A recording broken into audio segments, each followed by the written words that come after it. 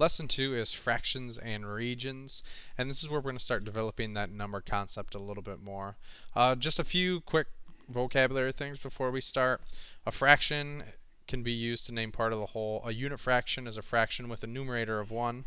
The denominator is the total number of equal parts in a whole, and the numerator shows how many equal parts are described. So that numerator is the top number. You can see it's the number of parts shaded, so you can see there's only one shaded here and the denominator is the bottom number, and that's the number of equal parts. And you can see there's one, two, three, four parts total here, so you can see that four on the bottom. One fourth of that rectangle is shaded.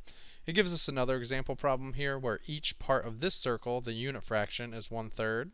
One, two, three total.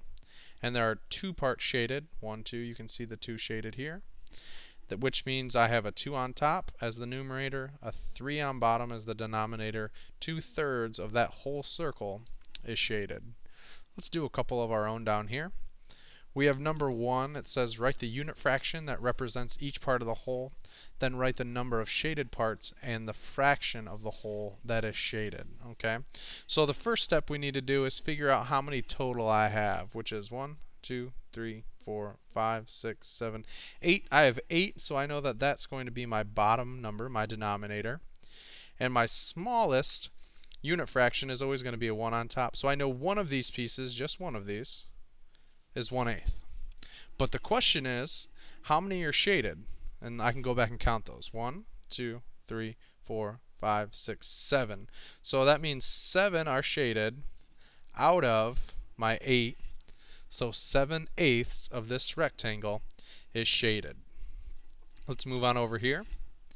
I have one, two, three, four equal parts in this circle. So I know that 4 is my denominator.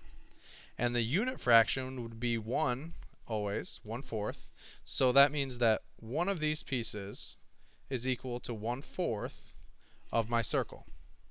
But the question is, how many uh, parts of the circle are shaded. And I have one, two, three, four. All four. So four out of the four pieces are shaded. And we'll learn that that is equal to 1. Number 3, how many equal parts do I have? One, two, three, four, five, six.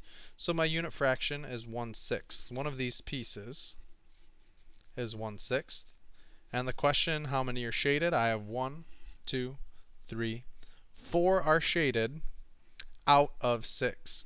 When you see this fraction line, it's really easy to say out of, and it makes a little bit more sense. So 4 out of 6 are shaded, 4 sixths. Last one, I have 1, 2, 3 equal parts. So my unit fraction is going to be 1 third. One of these pieces is 1 third of my rectangle. And how many are shaded? Oh, same answer as my unit fraction. 1 out of my 3 are shaded. 1 third of this rectangle is shaded. Now this says draw a rectangle that shows two equal parts. Shade one half of the rectangle. I've gone ahead and I've already drawn that rectangle with two equal parts, one, two. And I need to shade one of those two parts. So I'm going to go ahead and just shade that in real quick. Notice that I have one part out of two that's shaded, so one half of this rectangle is shaded. Number six, it says draw a circle that shows four equal parts. One, two, three, four. And then shade three fourths of that circle. So three out of the four. There's one out of the four, two out of the four, and three out of the four. That's three fourths of that circle.